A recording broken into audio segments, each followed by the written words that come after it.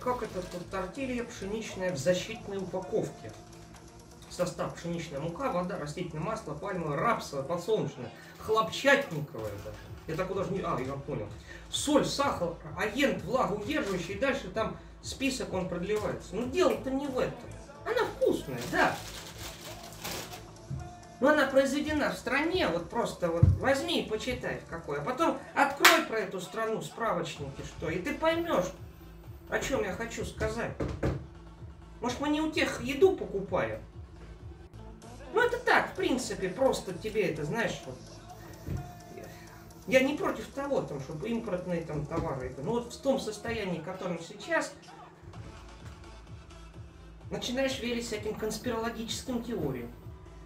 А вспоминая, как а, вот нам рассказывали в институте, как э, на самом деле евреи это землю обетованную искали э, от фараона.